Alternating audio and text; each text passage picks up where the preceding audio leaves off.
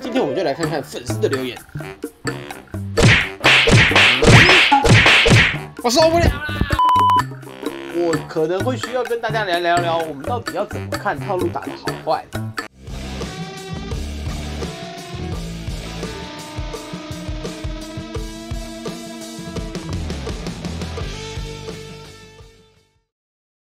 大家好，我是金先生。今天这一集呢，我要来跟各位聊聊，我们通常怎么看套路打得好还是打得不好。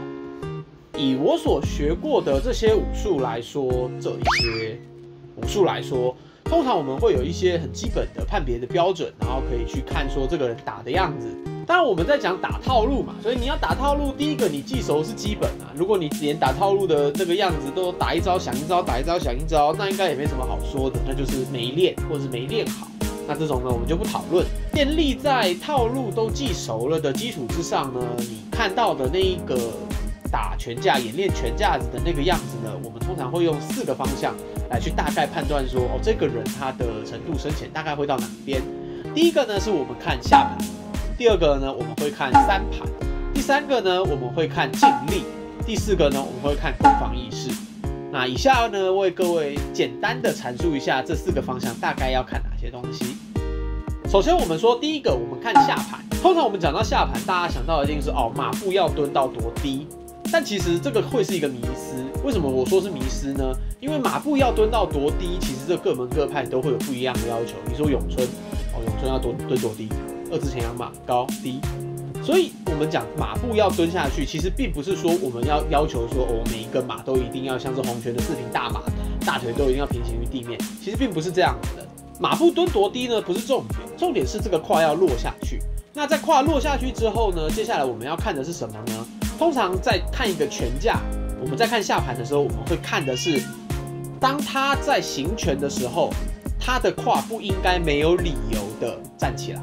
什么意思呢？假设我们以八极拳中的其中一小段来看好了，当第一个起势动作胯落下去之后，接下来在行拳的过程之中，只要这个套路里面没有特别强调胯的起伏的动作存在的话，它应该会是维持在你如果在荧幕上画一条线，你就会看到他走过去的时候，他的胯都在那个高度上，这个叫做有落胯，这个叫做胯没有太多的起伏。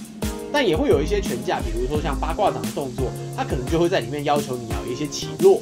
那这个起落有它要练的东西存在，所以并不是说我一概而论的说，我的只要蹲下去就一定都只能维持这个高度，并不是，只是我们可以从，如果这个套路并没有要求你起伏这么大，可是演练者却有过高跟过低的起伏存在的话，那或许这个演练者他的练习时间就还浅，他还没办法掌握到这一个压着胯走路的感觉，压着胯行拳的感觉。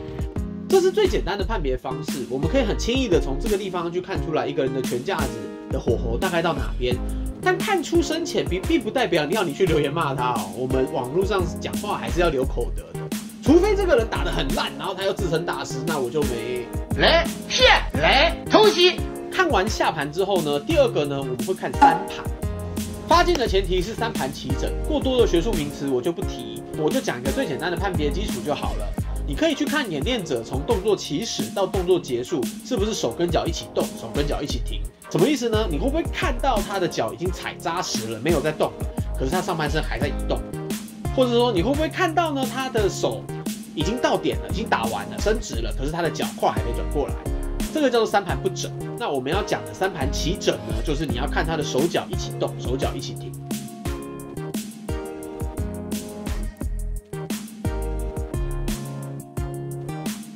第三个呢，我们会看尽力。但尽力分明暗长短，其实普通人不容易看出来，也会看这个套路，它需要表达什么样的内容，或者演练者当下的状态，或演练者当下想要强调什么样的内容，而发出来的尽力都有可能会不同。但我们还是可以很明显的看出，发着力跟发劲，它是完全不一样的东西。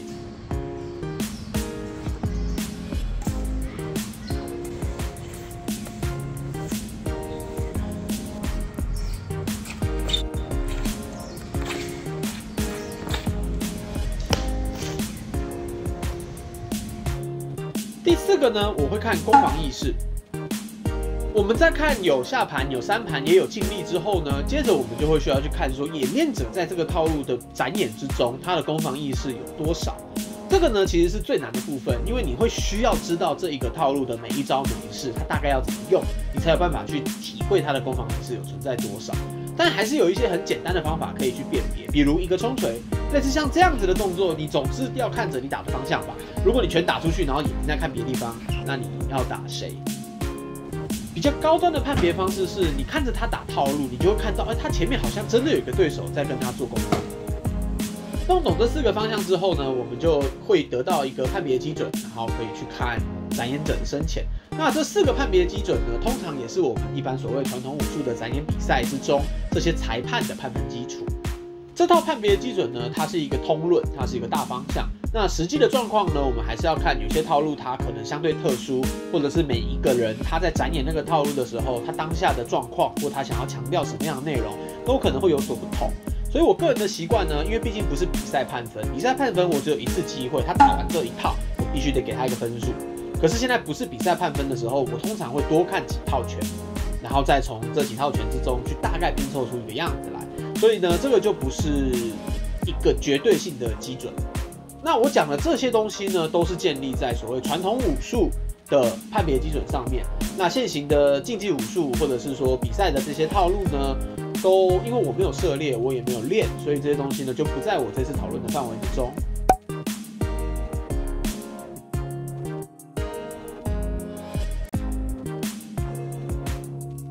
那我们能够从一个人打套路的样子去判断出他大概的深浅之后呢，你还会需要知道一个很重要的观念。如果各位有在关注我前面的影片的话，应该会发现我一直在重复强调一个观念：能出拳、能发劲、能打好套路，跟能其实都是不一样的概念。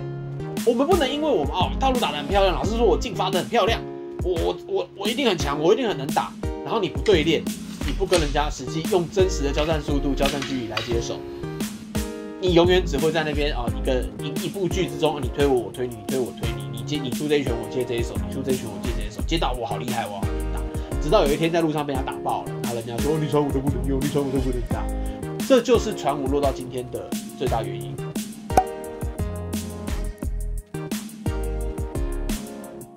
所以，如果你现在是在找一个你想要去上课的教练或老师的话，我都还是会建议说，你看完了，你觉得不错，那你还是得实际去找他上课看看感觉。只是在网络上看打套路的影片，其实这都没办法是一个最后的定论。好，今天的影片就到这边，感谢各位观看。如果你觉得我分享内容对你有帮助的话，麻烦帮我按赞、订阅、分享、开启小铃铛。那如果各位有什么想要我分享、想要问我的问题呢，也都可以在下面留言让我知道。好我是金先生，老实练拳，认真度日。我们未完待续。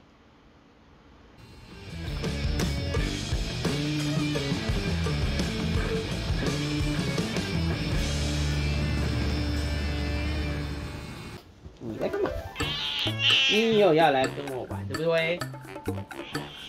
我每次都是这招，你要不要学个后空翻？要不要后空翻？没有，没有后空翻。试试看。嗯，不会，怎么不会？你不会后空翻，我要怎么拿你去把妹？